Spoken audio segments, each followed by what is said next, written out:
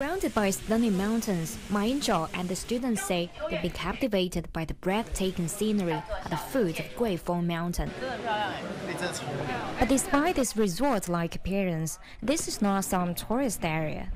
This is the Xi'an branch of the National Archives of Publications and Culture, often considered as a seed bank for Chinese culture. The institute holds over 2 million copies of historical texts, serving as the major record of ancient Chinese literature. Now, inside the archives, they are stepping into the heart of the Chinese civilization. The Xi'an branch places special emphasis on northwestern Chinese culture. An exhibition of the Silk Road attracts the attention of the group. I've just explored the Silk Road from the Tang Dynasty all the way to modern times. It's thought provoking, providing insights into economic development and the significance of the Silk Road.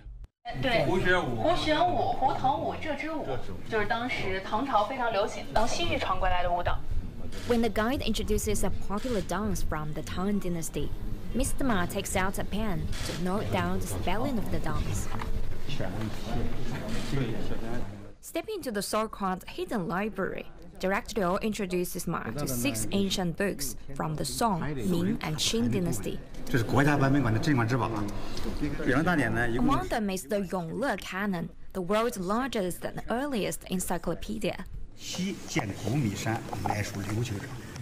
Listening to the Ming Dynasty transcript record of the mission to Ryukyu, Ma Ying-jeou nods his head. This is a must-read for those of us researching Diaoyu Island. The ancient texts prove that Diaoyu Island does not belong to Ryukyu. It's stated very clearly beyond Gumi Mountain. I've also seen this passage at Oxford University in the UK. Ma says the experience has given him fresh insights into the long continuity and rich legacy of Chinese civilization. The Chinese nation has a profound awareness and tradition of cultural inheritance and textual preservation since ancient times.